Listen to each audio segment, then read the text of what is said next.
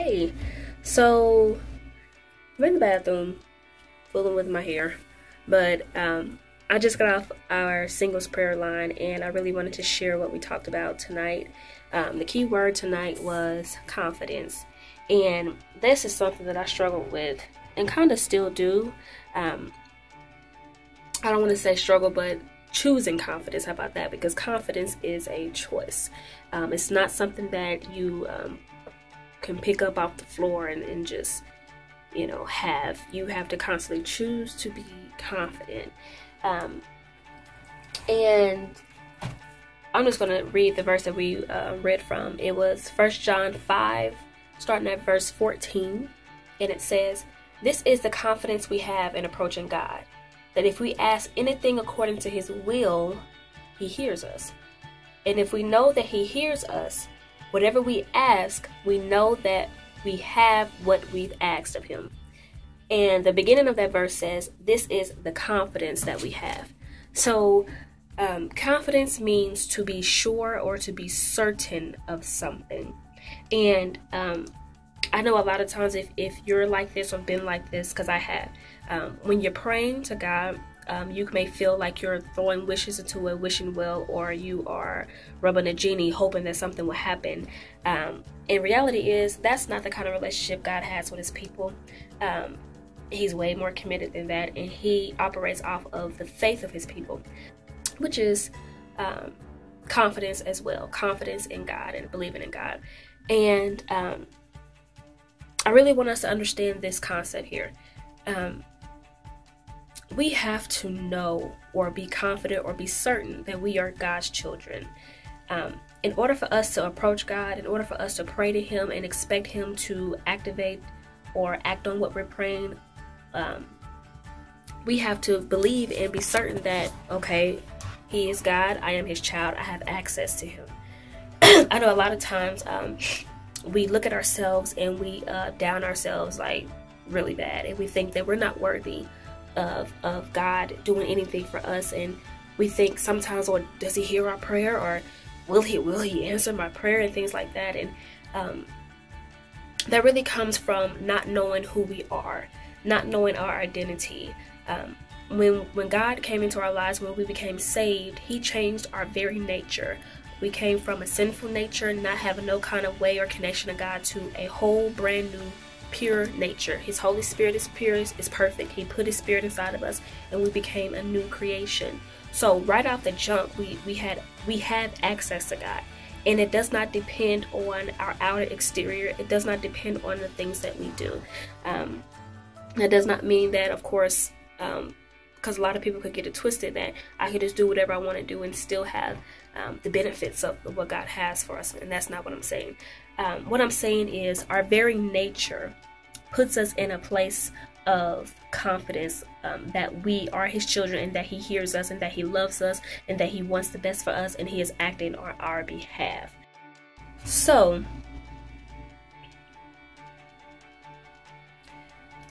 I believe we will, when we go before God, we will have a better sense and, and a better understanding and um, be more willing to go to God if we realize um, that we are we are His children. We already have access.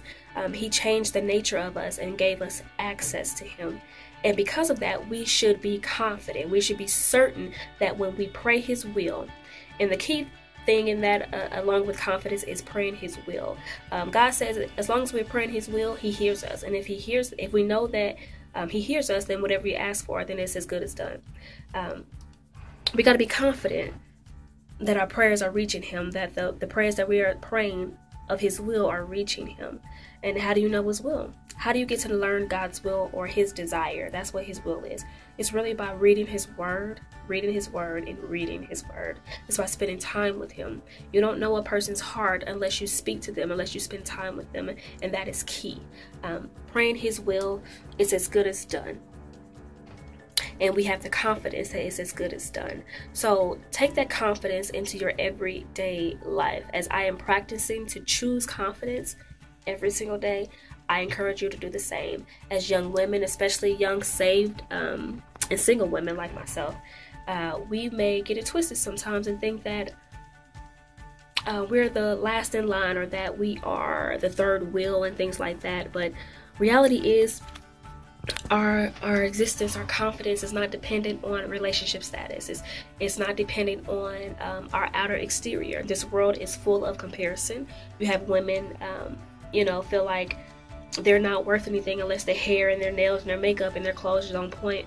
Um, but that's not where our confidence lies. So everywhere you go, um, remind yourself that you have the power to change the atmosphere. Be confident of who you are. That when you walk into an atmosphere, you are light in darkness and you are changing that atmosphere. You have the power to change that atmosphere. We must be confident.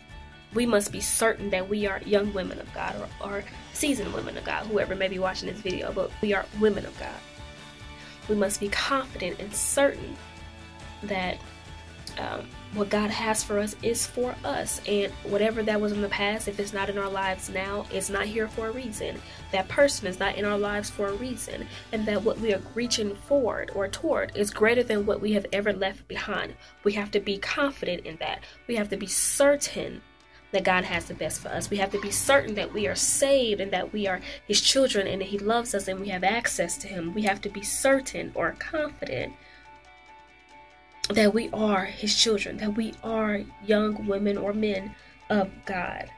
We have to be confident that when we walk into an atmosphere, even when we're not speaking out of our mouths that we're saved, or when we're not, you know, making things, making the atmosphere known that, hey, I'm a Christian, that when we're silently praying, be confident that God hears that prayer and that He's He's He wants to hear your heart. He wants you to pray so He can activate some things, so He can shift some things around in the in the spiritual realm.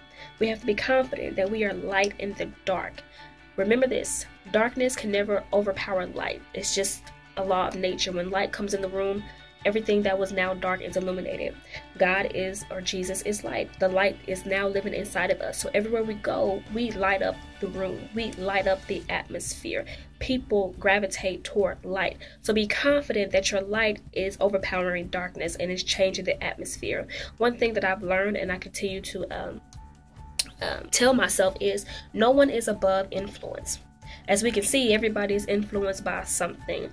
The rap game, the uh, industry, the, the social media, and everything, and everything that's going around, people are influenced by that. So obviously, you can see that nobody is above influence, right? So I want us to be confident and, and just to encourage us all. Um, no matter who you run into, no matter how famous somebody is, no matter how much money somebody has, no matter how good or whatever somebody looks like, I don't care how uppity somebody may seem. I don't care how how closed off, how angry somebody may seem. That they're not. No one is ever above influence, and your light influences other people. You have the power to change somebody's atmosphere, to bring somebody up a notch, to encourage somebody, to to pray for somebody. Your presence, just your smile, your encouraging word encourages people. It changes atmosphere is atmosphere. But we have to be confident. We have to be certain that we are that light, that we know who we are. Because if we don't, there's no way that it can be effective. Because God only operates, He operates through us by faith. If we're not believing, if we're not certain of it, then how can it come to pass? How can it be so? So, young woman, be confident. Young man, be confident every single place that you go. Confidence, being certain is the answer, and it is a choice, and I'm striving to choose that every single day. 1 John 5 and 14. Stay encouraged.